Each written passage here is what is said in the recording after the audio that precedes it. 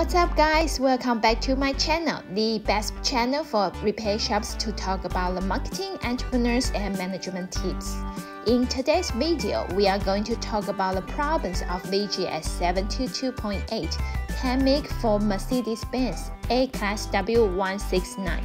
So, if you are the car owners of this luxury icon, or you are the mechanics who are specialized in the transmission repairing, you must keep on watching. For a better comfortable user experience, Mercedes-Benz A-Class and B-Class like Mercedes-Benz TEMIC VGS 722.8 all equipped with continuously variable transmission CVT with torque converter.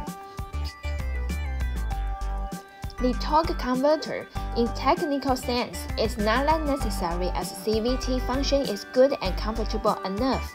However, the combination of CVT and torque converter dedicatedly brings high satisfaction to Mercedes car owners. The mechatronics, a component that consists of the mechanics and electronics, collaborate the function between CVT and torque converter, in which the channels and valves are so-called the mechanics part, versus the TCU as the electronics component, where the defect will appear commonly with the different error codes. Whenever you encounter the transmission problems, the very first thing to do is to verify the faulty codes. The mechanics will connect your TCU or TCM onto computer to do the analysis. Here you can see the common faulty codes and their meanings. If you see the code 0793, that means the RPM signal from secondary RPM sensor is not available. 0722, the RPM sensor from output RPM sensor is not available and you need to replace the component with the number Y39B5, the CVT output RPM sensor. And if you see the 1634, that's the component Y39N1 CVT is defective and the voltage supply is under voltage. Next is the code 0717. The RPM signal from CVT output RPM sensor is not available. 0730 means the gear ratio in CVT is not permissible. And last, the 0657 means the voltage supply of the control solenoid valves in the CVT is faulty. With the understanding of these faulty codes, the mechanics then can decide how to sort out the problems. The Mercedes automatic transmission with the CVT gearbox can be very problematic. Most of the time, the value causes are coming from the internal components and there are some common symptoms. As we always say, the earlier you can diagnose the problems, the easier you can solve out the problems. So next, I'm going to discuss some common symptoms that are telling you the vehicle may have the transmission values.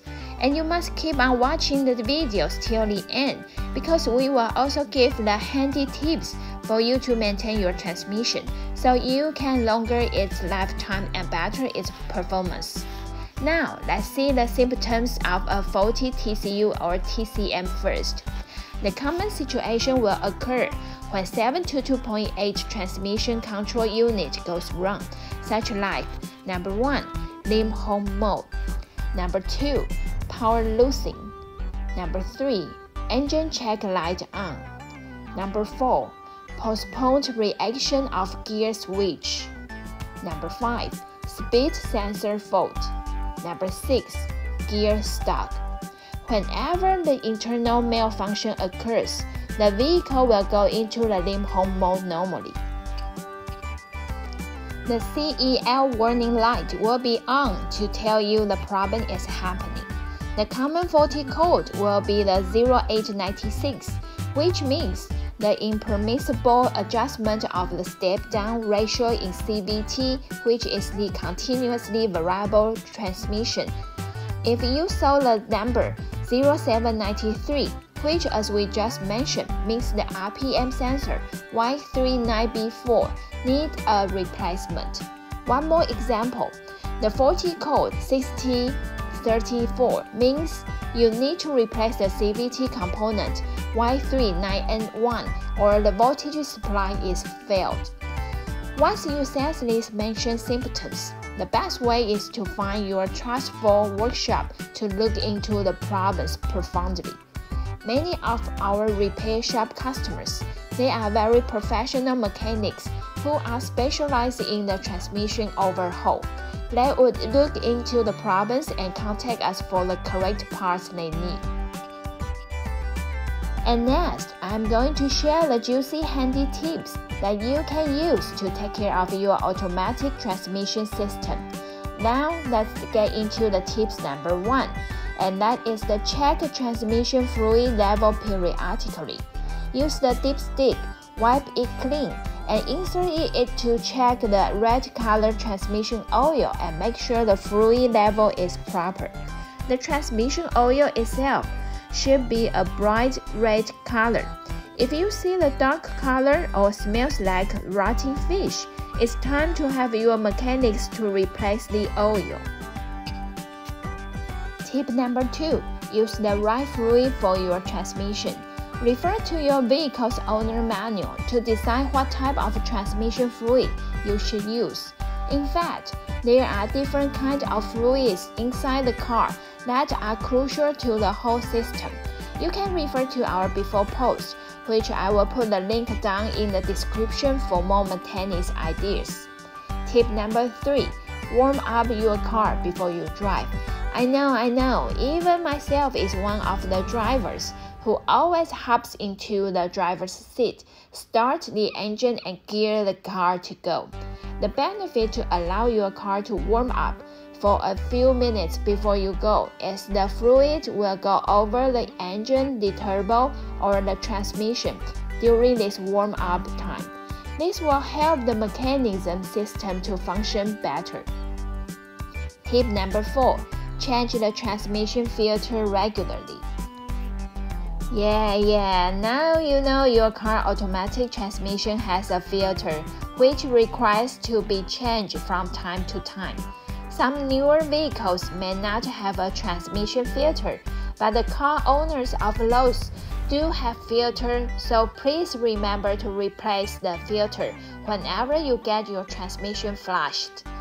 And this leads to my next tip and that is Get your transmission flushed regularly.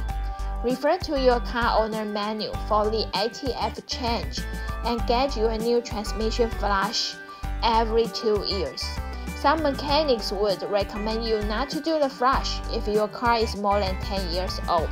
Consult your repair shop if the flush is necessary to your vehicle or not. Tip number 6 don't change gears while the car is moving.